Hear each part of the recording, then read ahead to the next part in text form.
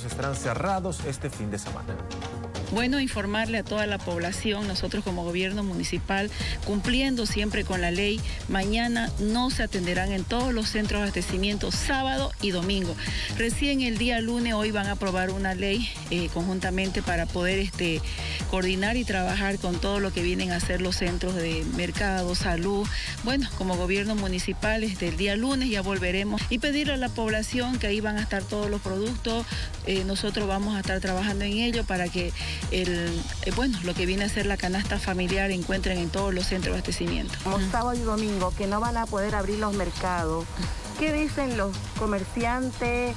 Esto es este, a conciencia, siempre se, los ha, se ha dialogado con los comerciantes. Primero es la salud, tenemos que precautelar y eso es lo que está haciendo el gobierno municipal, siempre cumpliendo con la ley nacional.